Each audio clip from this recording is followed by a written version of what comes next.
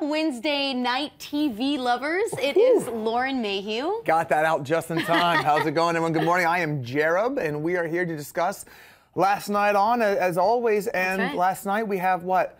Oh, freak out! What? Uh, uh, uh, uh, uh, uh, season premiere, freak out! Yeah. yeah, season, yeah, season premiere of, of, of another prank show. Are you over Yeah. the prank shows? Are you into the prank shows? I'm kind of, I mean, I'm. It depends on the prank, right? Like some really hit it, some miss. But I, that's exactly what I said to you earlier. I feel like it's Punked rebooted. There's nothing original about this show.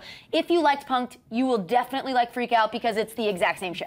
yeah, yeah, yeah, yeah, yeah, yeah, minus. Ashton, uh, minus Ashton Kutcher, pretty much. I did like uh, the the first prank they pulled uh, last night was was on this girl whose friend forgot to wake her up on the beach, so she got this really bad sunburn. Oh my God, this one was so gross. Oh, it was so Oh good. God, oh so, God. so, so the other girl goes into this tanning booth and they rig everything to make it look like a girl gets stuck in the tanning Mm-hmm. Yeah. booth. Oh God. Oh God. When they pry open the tanning booth, smoke's coming up. They did a great job on her makeup. The Oh, girl that, that they're pranking is just freaking out. The girl from the booth sits up and Spine. it peels Oh, her the back skin. of her skin off of her back. Oh and my you can God. see down to her spine. It It, was, was- goopy to the table. But it was crazy to me how the It girl was was, just sitting there being like, do something. I'm like, how do you not, like, if no one else is doing something, immediately pick up your phone and dial 911? Like, I mean, I guess, I don't know, I've never been in a Yeah, situation where when I've it's seen someone's happening, spine. I think the adrenaline's Yeah. going, especially like they had her like turn the knob, so I think she felt part of like responsible. She's Oh, probably gonna call the police and be like, "Yeah, that me. was on me." You Yeah, know, she it- was that's just true. That's really she, out. she probably was freaking out that it was maybe her fault. Um, the Uh, second thing, yeah. you know, the second prank that like went on ended up in like an all-on girl fight, which I was I had a lot of fun last night googling girl fight images. Fox. Yeah, this, this is this is kind of a hot girl fight. There's like Yeah, long hair you. going on. You're welcome, Jareb. I- I, thought thank you'd you. That- that was definitely for me. Yeah, yeah. Um, but I mean, literally, if you like girl fights, Freak Out is also the show for you. I have a feeling that that is the first of many that is going Yeah. to happen on that show. I- especially nowadays, like people with the pranks, I feel like it's just their reaction is just to go at it physically. Like the second skit on that with the date, I didn't think it went well. I felt like the girl knew that it was uh, something was being put on. I thought so too. I definitely thought so too. It, it kind of like when you looked at her face, you felt like she knows it's not like the guy was like choking and she was just looking at him like, "You're fine, dude." But think Like, about the you're third prank. You're at a house. You're helping someone move. Yep. They step out. The police come. They hand you two bulletins of two guys who are missing.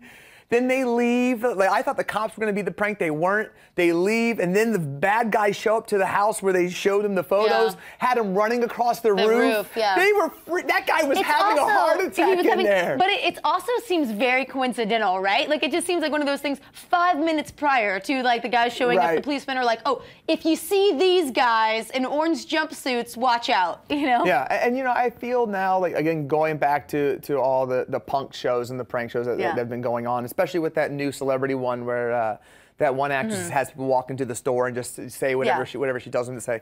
I think they're just so affordable for studios Yeah, to they really are, they really a, are. a nice prank. But I love pranking people. Do you? I mean, you're you're a little prankster. You You're always know, out there messing know, with folks. you Do, not leave your coffee or water around this one. She definitely likes to pull the pranks on you. You know it. I'm a big prankster. I'm a fan of that stuff. So uh, let's talk about the next show. Uh, Big Time. You checked out this show. You wanted to tell me about it. Another season premiere, big time in Hollywood, Florida. Yes, Floridians ourselves. That's right, high we- five. Absolutely. What? Flowriders. What? um, season uh, season premiere. That was Ben Stiller's new show that Yeah. he's executive producing.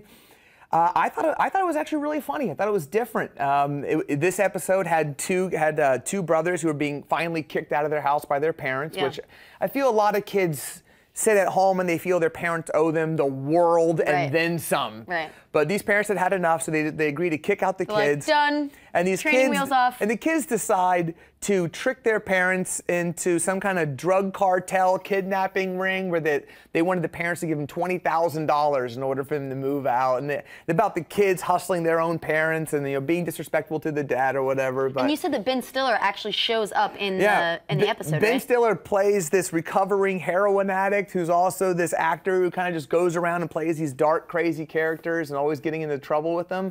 It's Um, crazy. Once again, we see these massive movie stars, you know, like Empire and stuff as well. Central. on, on Comedy Central. That's crazy. Like massive A-list movie stars doing TV. But what I do like about that is it's Ben Stiller executive producing, and he's going to throw his face in there. Like, You know- like, I, I yes, like that he's taking cool, an active he's- role he and really trying to get it going. But you know what's going to happen with that? It's like you know when a guy like Ben Stiller does a show, I'm sure he's going to bring in his buddies. So I can I think that you could expect to see some other guest stars from some meaningful Absolutely. people. And big time in Hollywood, Florida.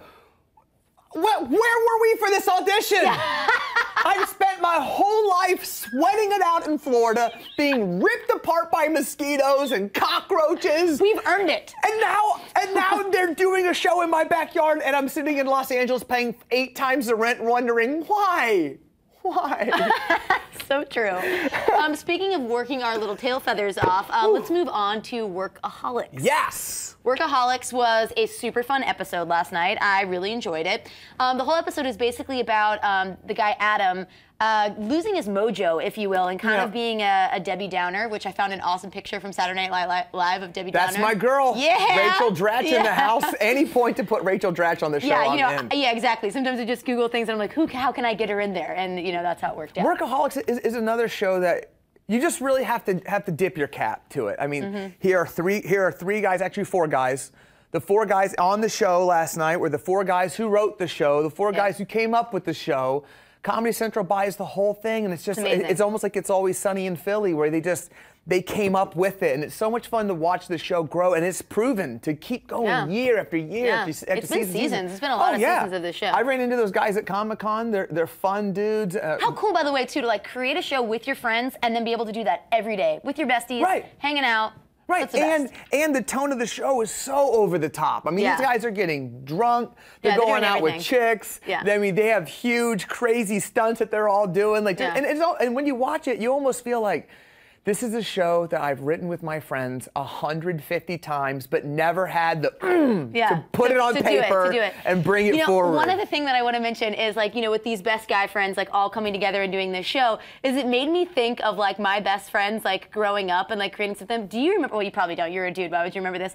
But I, I googled another image of this BFF necklaces. It was like the biggest thing in the entire world. When you were like in fifth grade, you had to pick out your best Yeah. friend and you had to pick out like necklaces. And then when you came to school, you would give the other half to your bestie, and like you would just Oh, sit yeah. there like when the girl would come up, you'd be like, oh my god, is she gonna pick me? Is she gonna pick me? She gonna pick me? And then you wore like sometimes like if you were cool, you maybe had like five BFF Hold on, necklaces. hold on, Lauren, Lauren. Five you still have them. but you you know, still have the parts. I bet you at your house, if I went in there right now next to all your bling bling, there would be a couple of the, the little puzzle that says No. friends and then the other half best Yeah. from all the ones you've gotten over the years. you know what's funny that's like hysterical is that um, you know some girls would actually rack up like multiple as if you could have like it, it's kind of counterintuitive because it says best friend which implies one. All right, well, However, you have like five necklaces on.